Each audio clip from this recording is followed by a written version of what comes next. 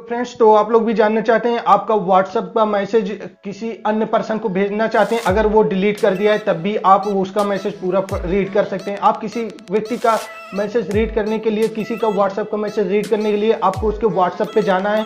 And मैं setting बताऊँगा, आगे समझ लीजिएगा, वो अगर अपना चैट डिलीट भी कर दिया है तो आप उसका चैट पढ़ सकते हैं। कैसे? वो सेटिंग आप देखिएगा तो आपको पता चल जाएगा। अगर आपको ऐसी वीडियो अच्छी लगती है तो वीडियो को लाइक करिएगा एंड चैनल को सब्सक्राइब करके रखिए। जैसे कि मैं कोई वीडियो डालूँ तो आप तक पहुँच जाए।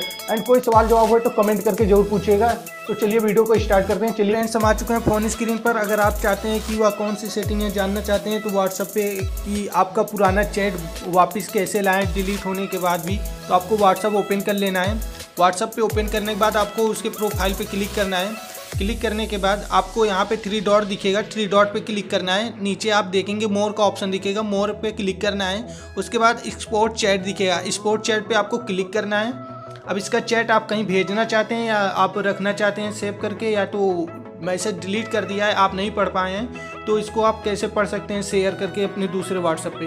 तो आपको जैसे कि यहाँ पे बहुत सारा ग्रुप देगा मतलब आपको ऐप देगा जिससे आप शेयर कर सकते हैं। हम चलिए व्हाट्सएप पे आपको शेयर करके दिखाते हैं। व्हाट्सएप पे आपको क्लिक करना है।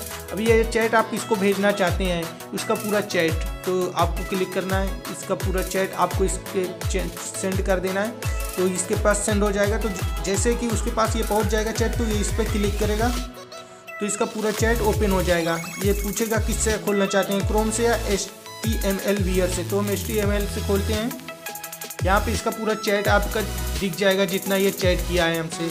ये देखिए, अभी सामने पूरा चैट इसका आ चुका है। तो आप ऐसे ही देख सकते हैं किसी का पुराना चैट कैसे आप देख सकते हैं। जो मैसेज डिलीट भी कर दिया है तो आप इससे देख सकते हैं। अगर वीडियो अच्छा लगा हो तो लाइक करिएगा एंड कमेंट करिएगा। कमेंट करके बताइएगा आपको कोई अगर सवाल हो तो।